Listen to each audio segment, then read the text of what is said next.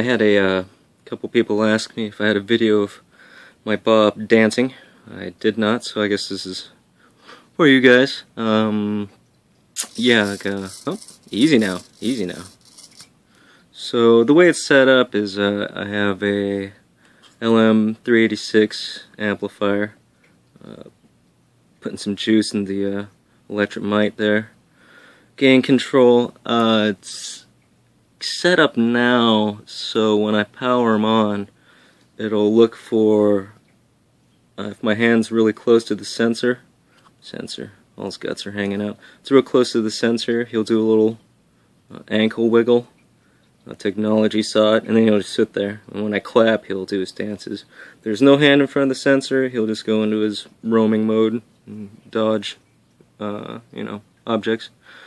The goal is he's going to be my little sports buddy bot. Uh, so he can just sit there while I'm enjoying my sports. And when I clap, he'll dance with me and celebrate. So yeah, this is no hand in front of the sensor. Trundle, trundle, trundle, right? Alright. If I do have my hand in front of the sensor. Alright, that's his acknowledgement uh, motion. And uh, so this is kind of what's going to happen. My team's running for the touchdown. I start clapping. They score. Yeah! Yeah! Touchdown!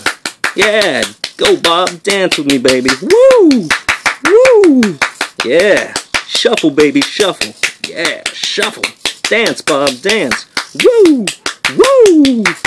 Yeah! Go, Bob. Go!